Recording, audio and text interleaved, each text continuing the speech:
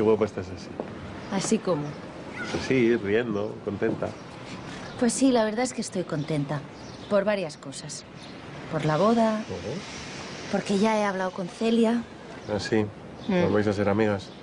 Sí, bueno, hemos aclarado unas cuantas cosas, sí. Pues me alegro porque estabas muy preocupada. Sí, porque no entendía nada. Pero ahora ya me ha quedado todo claro. Ella necesitaba estar centrada en su estudio y por eso estaba más distante conmigo. Pero normal, si es que encarcó dos, lleva muchas horas. Bueno, eso dicen. Porque Mm. yo, con aprender a sumar y multiplicar, me di por satisfecho. Pero... Petra, yo es que a pesar de todo sigo encontrando aquí algo raro. ¿Pero el qué? ¿El qué te parece raro? Pues, a ver, ¿por qué la señorita Celia te cuenta esto ahora? ¿Por qué no te da estas explicaciones antes? Bueno, pero lo importante es que lo ha hecho ahora. Pues a ver cuánto le dura, porque luego en cuanto aparezca una amiga suya de de su clase, a ti te deja tirada. No, no, no me gusta que me digas eso. Bueno, pues como quieras, no te lo digo, pero luego no me digas que no te lo advertí. Pues mira, para que veas que le importo, esta tarde vamos a recoger el vestido de novia que te recuerdo ella me regaló. Petra, eso lo hace por quedar bien. Luego desaparece y hasta que no necesita algo de ti, no vuelve a aparecer. Oye, ¿puedes dejar de aguarme la fiesta? Que parece que has nacido para eso. Vale, ya me callo, pero esto es lo que pienso.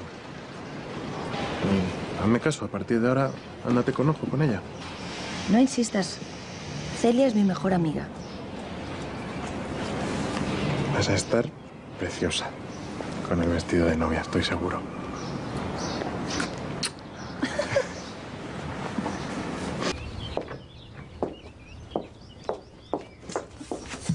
Me los han traído a mí. Ay, ¿y quién? Si puede saberse. Rodolfo, que está loco por recuperar a Blanca. No se los pienso dar. ¿Tú crees que quería que me diera entre ellos? Ya, Y tú para evitar el sufrimiento de Blanca te quedas con los bombones. Menuda estratagema. Pues si tú le robas un bombón a Blanca, yo también. ¿Y habló con Rodolfo al final? No. Blanca ha dejado claro que no quiere verlo ni en pintura. Así que hay que hacer que esta caja desaparezca. A buenas horas le trae el sentimiento de culpa a Rodolfo. Ay, perdón, que igual estás ocupada. Enseguida me voy a clase con don Luis. No, me estoy tomando un descanso. Estoy leyendo una carta de Víctor Dumas. Mm, ¿Qué te dice? Le he contado que, que estoy preparando las oposiciones para maestra y está muy orgulloso de que retome mis estudios. Me alegro de que cuentes con un apoyo así en tu vida. Es una suerte. Sus cartas son muy valiosas para mí. Mm. Y también te sirven para distraerte. Y no pensar en ciertas cosas. Sí lo hacen. ¿Nunca has pensado en llegar a algo más que unas cartas con Víctor Dumas? Porque tenéis mucho en común. Y con lo que le admiras, seguro que más tarde o más temprano te acabas enamorando de él. Francisca ha intentado olvidar a Petra, pero no puedo. Tienes que dejar de verla. Con el tiempo se te pasará. Bueno, ya lo intenté, pero ella no se merece que salga de su vida así como así. Tienes que pensar en lo que te conviene a ti, Celia. Hablé con ella y más o menos arreglamos las cosas, pero tengo que acompañarla a buscar su vestido de novia. Ay, ya veo que evitarla se te da de maravilla. Es que no quiero verla sufrir, Francisca. Que no sé qué decir. Prefieres hacerte daño tú que hacérselo a ella.